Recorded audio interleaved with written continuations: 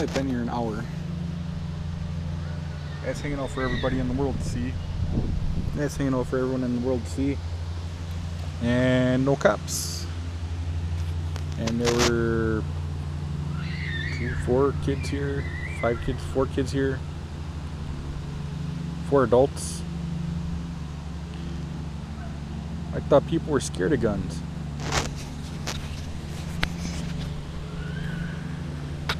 Mm-hmm.